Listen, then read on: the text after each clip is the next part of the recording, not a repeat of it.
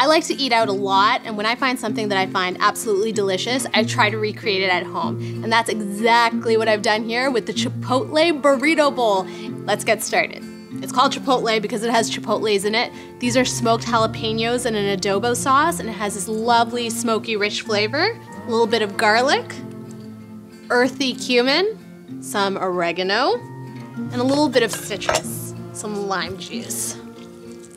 Make sure to get every single drop in there. I'm gonna season with a touch of salt, a little bit of black pepper, and just whisk to combine. I'm gonna be using chicken thighs for this. I love using chicken thighs because they have really great flavor, and as you cook them up, they won't dry out. And you wanna make sure that every single piece is coated really, really nicely. All right, cover this up with a little bit of plastic wrap I'm gonna pop this into the fridge. You wanna marinate this for about two hours, but if you can manage overnight, even better because it'll be that much more flavorful. The chicken's marinated and now it's time to sear it off. A little bit of oil, and you want the pan on about medium-high heat so that you get a nice sear. Alrighty. That's the sound I like to hear. Means the pan's hot enough.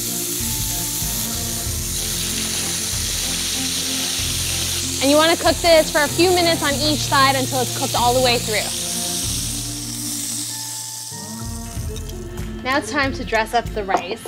And I like to add a little bit of cilantro, some lime juice, for a bit of zip, and a touch of salt.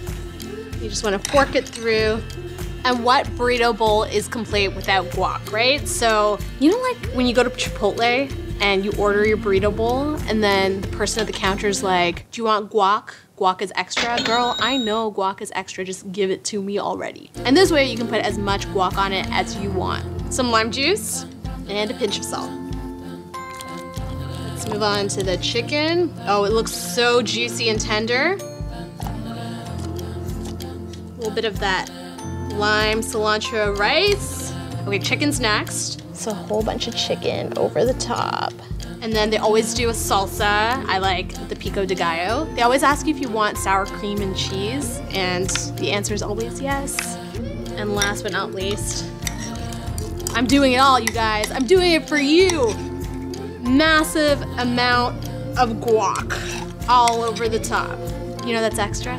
Hey, no, no, no, I got you covered. I'm not gonna charge you for guacamole, what are you talking about? They don't do this, but we fancy, so a little bit of cilantro. If you were at Chipotle right now, this situation would not happen. Look at the portion size on this. You couldn't get a lid on this even if you wanted to. Mmm. Winner, winner, Chipotle chicken dinner. The fresh guacamole, the lime cilantro rice, that salsa. You're speaking my language. The Chipotle burrito bowl, made at home. And it's even better than Chipotle. You gotta try it.